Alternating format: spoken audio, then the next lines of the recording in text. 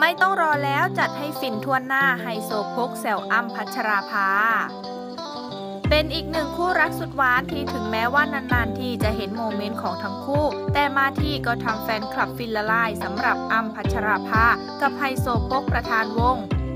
ที่ล่าสุดสาวอั้มและไฮโซพกเผย moment เข้าครัวทำอาหารด้วยกัน พร้อมทั้งโพสต์ภาพตัวเอง ภาพเดียวก่อนจะเป็นภาพคู่ในภาพที่ 2 พร้อมแคปชั่น เป็นเด็กส่งขนมหนึ่งวัน ในขณะที่ทางด้านไฮโซพกก็ได้โพสต์คลิปผ่าน Instagram Story พร้อมทั้งแซวว่า ไม่ต้องกลัวท้องเสียนะครับ กลัวไม่ได้กินมากกว่า celebrity chef มาถึงบ้านท่ามกลางแฟนคลับแห่เข้ามาถล่มไลค์และคอมเมนต์จำนวนมาก